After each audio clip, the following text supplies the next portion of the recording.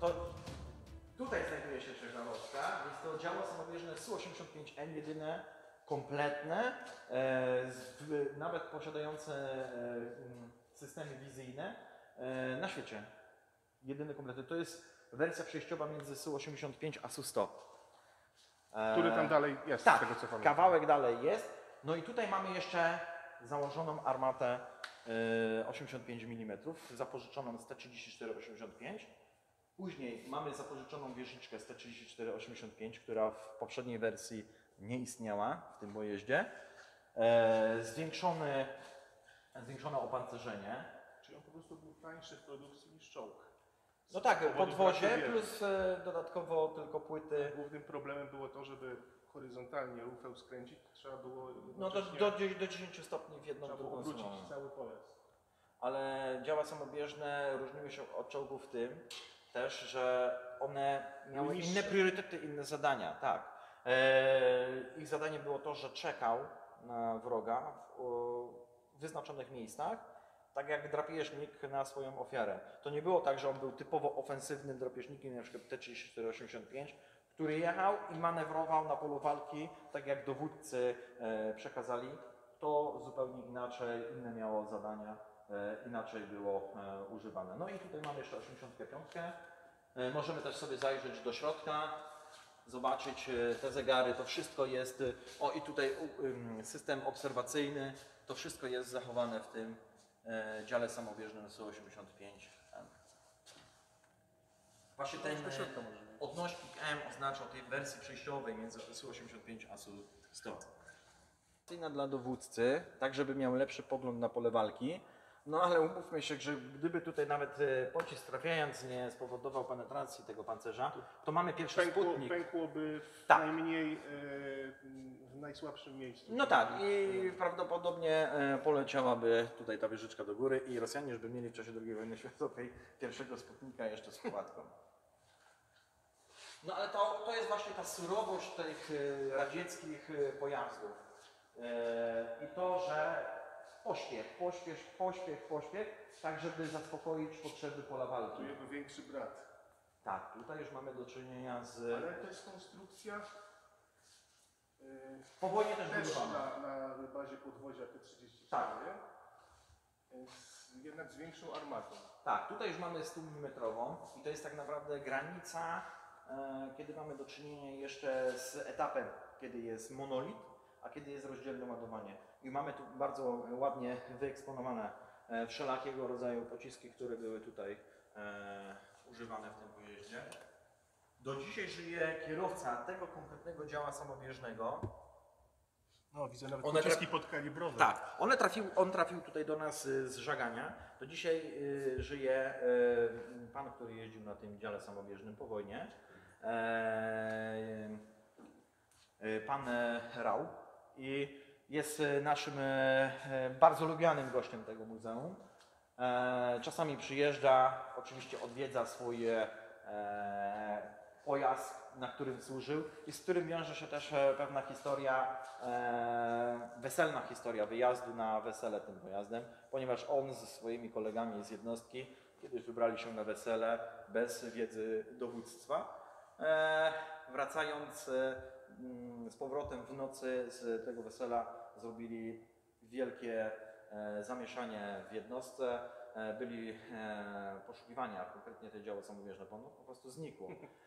No ale rozeszło się to po kościach, niemniej jednak ta historia do dzisiaj, zresztą można na stronie Muzeum Broni Pancernej ją sobie przeczytać. Istnieje i zawsze ten pan, który tutaj przyjeżdża, tą historię opowiada na nowo. Także żyje tym e, wszystkim. No ale tutaj mamy e, dosyć specyficzne e, malowanie. Ten pojazd udawał w 2005 roku podczas rekonstrukcji jak pancera. Dlatego też to malowanie jest takie niemieckie. No tak, bo podobny jest. No tak. I co ciekawe, te działa samobieżne Su-100 były bardzo, e, bardzo upowszechnione też po wojnie. Między innymi Czechosłowacja dosyć dużo tego sprzętu e, używała bodajże do lat 60. E, do nas też kilkanaście sztuk trafiło. Ciekawostką jest to, że ta armata tutaj 100 mm potrafiła przebić pancerz, pociski wystrzelone z niej, pancerz Pantery nawet z odległości 1500 metrów. Więc na pewno dla e, załóg niemieckich e, Już czołgów- było się czego bać. to było, tak, to było, to działo było już e, pewnego rodzaju postrachem. Przechodzimy do tych naszych superkolosów, które znajdują się w Muzeum Broni Pancernej w pawilonie B, to trzeba wspomnieć o Józefie Stalinie III. Nowa futurystyczna wieża. Zrób tutaj y, zbliżenie na jakość wykończenia wieży. Nowa futurystyczna wieża. On już był po wojnie zbudowany, prawda? W nie sensie, do że Nie końca. walczył na froncie, a przed no tak, e, Tak, one to były czołgi przeznaczone do walki z tymi najpotężniejszymi czołgami niemieckimi i nigdy się z nimi nie spotkały na polu walki. Tutaj ta nowa 46 futurystyczna wieża, dokładnie tak, plus dodatkowo ten pancerz. I w taki sposób te płyty zespawane ze sobą, że sprzyjały rykoszetowaniu. A nawet jeśli by jakiś pocisk próbował albo ośmieli się penetrować w ten pancerz, to musiał się zderzyć e, z przepotężnym e, pancerzem, e, grubym pancerzem czołowym. Dodatkowo, no mamy tutaj cały czas tą armatę 122 mm, no, która była trochę piętą achillesową. Szybkostrzelność 2, czasem 3 strzały na minutę, więc e, biorąc pod uwagę hipotetyczną walkę z tygrysem na polu walki królewskim z armatą Acht Acht, e, szybkostrzelność była tam znacznie większa. Pytanie, No tak, bo który to była by... najlepsza armata chyba, jaką No kiedykolwiek stworzono. Dokładnie tak, więc... e, Najpierw, sekundę tylko, wyjaśnię coś widzom. Na- Tą armatę widzicie na zdjęciu, ona była najpierw przeciwlotnicza, ale Niemcy się zorientowali, że tak naprawdę lepsza jest nie w zwalczaniu samolotów, tylko czołgów. I zaczęto ją przerabiać na wersje czołgowe i umieszczano ją w Tygrysach. Tak. Mimo, że początkowo była ona typu flag, czyli do zwalczania amerykańskich czy też sowieckich bombowców. Dokładnie. I to e, spowodowało, że e, zaczęto budować właśnie takie czołgi. Ciekawostką jest to, że nasz egzemplarz jest jednym z dwóch, który trafił do Polski po wojnie. To był taki prezent Związku Radzieckiego, by pokazać tą myśl techniczną radziecką. A tak naprawdę pojazd posiadający stosunkowo dużo wad, ale tą największą wadą chyba była ta armata, ta szybkostrzelność, no i stosunkowo mała ilość e, e, pocisków, które mógł tutaj e, przewozić. Bardzo paliwożerny, że tak powiem. No i w 1945 roku podczas defilady w Berlinie cały pułk e, przejechał, e, ża- żaden się wtedy z tych czołgów nie zepsuł, o dziwo. Przejechał i wtedy alianci... Szczęście dla, dla załóg. Tak, ale za, e, w alianci wtedy zrozumieli jedno. Jak bardzo Rosjanie chwycili ten ogon niemiecki i poszli za nimi i jak bardzo odskoczyli, a raczej zbliżyli się do aliantów.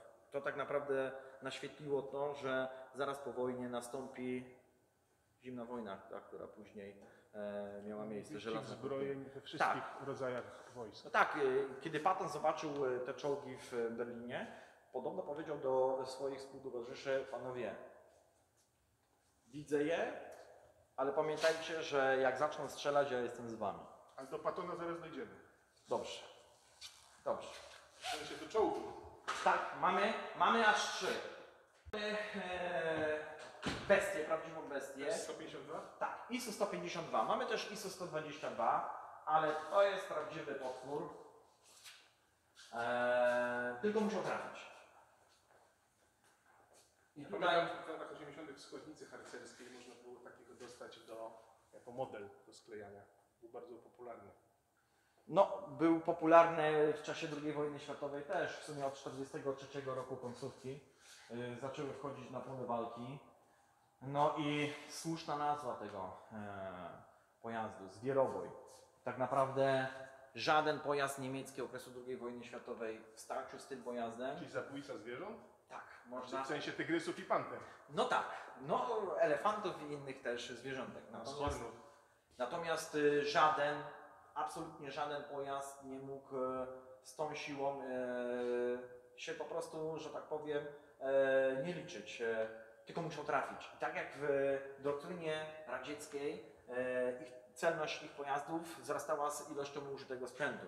Więc nie jeden, a kilka, kilkanaście czekało gdzieś w ukryciu e, z odległości kilku, kilkunastu metrów, ostrzeliwując wroga, przejeżdżające jakieś czołgi czy e, kolumny jakichś pojazdów wrogich.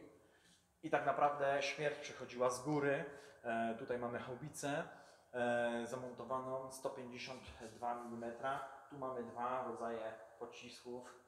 Przeciwbetonowy oraz e, odłamkowo-burzący. Czyli jeden strzał mógł zniszczyć cały dom. Tak, e, kamienica przy dobrym trafieniu przestawała istnieć. Tylko mówię, trzeba było najpierw trafić. I to była główna e, właśnie rzecz, którą musieli wykonać, musiały wykonać załogi tych pojazdów. A załoga to 5 osób. Dwie osoby były przeznaczone do ładowania ciężkich, bo ciężkich e, e, tutaj pocisków. E, Łącznie taki pakiet ważył od 40 paru do 50 paru kilogramów, więc było co dźwigać i co ładować. Szybkostrzelność stosunkowo słaba, no ale to jest pojazd, który był bardziej w defensywie. Chociaż Rosjanie z braku e, swoich pojazdów, czołgów używali też je do innych celów niż tylko jako działa samobieżne, też i ofensywne. Jak tutaj e, Państwo widzą, każdy z tych pojazdów posiada na swoim pancerzu orzełka. Akurat te nie mają korony, ale to nie jest ważne, czy tu ma, jest korona, czy jej nie ma. To pokazuje, że te pojazdy były w użyciu też w Wojsku Polskim. E, jak mówiłem wcześniej, są to nimi świadkowie tamtych wydarzeń, a ten pawilon jest specyficzny, ponieważ każdy z tych eksponatów jest pomnikiem historii, dlatego też nie pozwalamy wchodzić na te pojazdy z szacunku do ludzi, którzy często ginęli, tracili życie właśnie przy tych konstrukcjach. No i na sam koniec y, odwiedzin w pawilonie B Muzeum Broni Pancernej w Poznaniu. E, przechodzimy do mojego ulubionego tutaj eksponatu. E, tutaj mamy SDKFZ 6, wydobyty e, w Wielkopolsce, niedaleko Pyzdr. Z wody? Tak, z starorzecza rzeki e, Warty. Tak naprawdę podczas wydobycia ta górna część praktycznie nie istniała, tylko układ jezdny tego SDKFZ. Po półtora rocznej pracy udało się go doprowadzić do takiego stanu, jakiego widzimy go obecnie. Także w 2012 roku już tak się prezentował. Czyli to był ciągnik artyleryjski, jednocześnie transporter dla wojska. No tak, to był taki wół roboczy Wehrmachtu, wersja szósta, wersja pionierska, saperska. Jak widzicie, charakterystyczne jest to, że no, z przodu są normalne koła, a z tyłu jest gąsienica, po to, żeby ułatwić poruszanie się w grząskim terenie e, stepów Azji. No, nie tylko, e, także i tutaj e, w Wielkopolsce, ponieważ e, on e, właśnie tutaj został odkryty. I ciekawe jest to, że to nie Niemcy go zatopili, a Rosjanie. To był pojazd zdobyczny. Konstrukcja wybudowana w 1941 roku. E, Pod koniec wojny został zatopiony przez Rosjan e, w, pod Pyzdrami w starorzeczu Warty. Tak jak mówiliśmy, górna część nie istniała, tylko niektóre elementy Widać zresztą po fakturze e, i strukturze tej e, konstrukcji, że są To są to rzeczy. które- A Tak, te, a te już są To są e, rzeczy, rekonstrukcja. tak. To są już wszystko odtworzone z oryginału. Jeśli dobrze pamiętam, tego, który znajduje się w Niemczech pojazdu, tylko że nasz jest jezdny. Na świecie istnieje 5 do 6 SDKZ-ów szóstych, w tym dwa są jezdne, jeden z nich stoi tutaj przed nami. No jeszcze pancerszlek. Tak, to tak e, pokazane, że coś takiego też można było, załoga była na koniec wojny e, przewozić. Poza tym są też e, stojaki dla żołnierzy, by tutaj mogli przymocować sobie mauzery. Więc przewoził i ludzi, przewoził sprzęt. Tutaj jeszcze mamy dodaną haubicę 105 mm, która była transportowana właśnie przez takiego SDKFZ-a. Też możemy sobie zobaczyć. E, Taką mamy hipotezę, oczywiście jeszcze nie jest do końca udokumentowana, że faktycznie tak jest. Natomiast e, ten, e, ta haubica trafiła do nas z łódzkiej filmówki. I w tym miejscu na pewno coś tutaj było robione, zanim ona do nas trafiła. Są różne hipotezy. Jedna mówi o tym właśnie, że możliwe, iż ta haubica brała udział w kręceniu znanego filmu, czyli pancernych wiec. Ale czy jest to prawda? Trudno to jednocześnie e, określić. Będziemy musieli udać się też do filmówki, jak nas wpuszczą. Bo tam też jest masa genialnych eksponatów. które mają ciekawą historię. Tak. No tą akurat wersję jeszcze mamy na takich kołach, e, One- bardziej one nie przeznaczona były- do one nie ciągnięcia, były, do konnego. One nie były obudowane gumą. To tak oryginalnie były ze stalowymi kołami. Były ze stalowymi i były też Czyli e, można wersje było późniejsze. obudować. No tak. W sensie tak, jeżeli bym trafili na błoto, to ciężko było później No ale wydobyć. na przykład jadąc na bruku i ciągnąc coś takiego, stukot niesamowity, tak? Zresztą mamy zdjęcie y, z czasów wojennych, właśnie SDKZ 6 z tą lekką y, haubicą, z 105, jak to Niemcy 10,5. Tak y, na, nazywajmy. I tutaj właśnie jest to zdjęcie, można sobie zobaczyć. O, dumne podgrzybki, jak Wehrmachtu, SDKFZ, no i właśnie ta haubica.